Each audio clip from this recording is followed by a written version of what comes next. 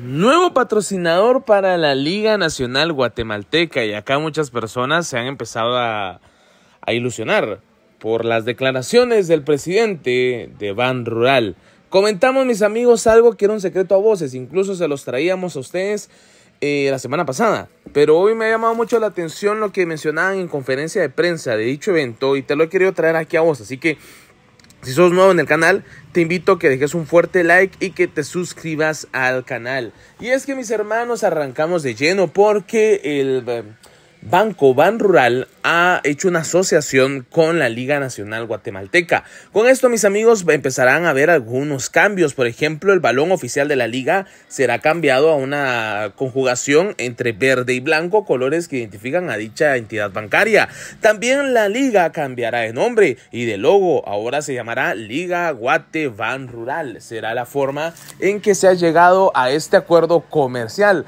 Por su parte, mis amigos, Ban Rural se ha comprometido en apoyar y aportar al fútbol guatemalteco, especialmente a los equipos de Liga Nacional, diferentes fondos para así poder empezar a trabajar en aspectos básicos y el crecimiento de nuestro fútbol. Precisamente el día de ayer en una rueda de prensa, Edgar Guzmán, gerente general del Banco Ban Rural, informaba lo siguiente, hoy es el inicio de algo grande, tenemos contemplado mejorar las condiciones de juego, buscaremos más empresas que apoyen al desarrollo del fútbol nacional. Nuestra gente tiene que tener mejores condiciones para jugar y practicar. Si estamos contemplando que esto mejore, Estamos hablando acerca de las canchas de juego. Y con esto muchas personas ilusionaron y me dijeron, José entonces vamos a tener lo que es nueva infraestructura, se va a crecer.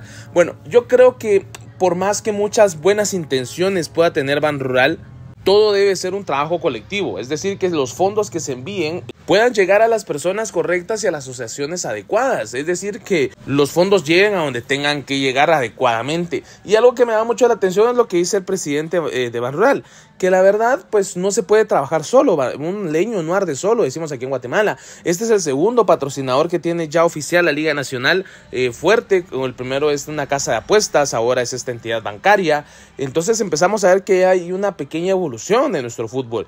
Pero se necesitan más patrocinadores para poder crecer y también el deseo de los equipos de querer invertir. Esto es un trabajo de todos, mis amigos. Yo creo que algo que se ha estado especulando desde hace mucho tiempo es un torneo de juveniles para poder ir buscando nuevos talentos, un torneo de escauteo, eh, poder ir haciendo torneos regionales para poder ir buscando cada vez a más jugadores. Así que mis hermanos, creo que esto es solo el comienzo. Realmente solo estamos todavía en, pañales, estamos en la entrada nada más, pero creo que por fin se está empezando a dar algunas señales de vida y de evolución de nuestro fútbol. Debemos de seguir creciendo, se debe de seguir trabajando en infraestructura.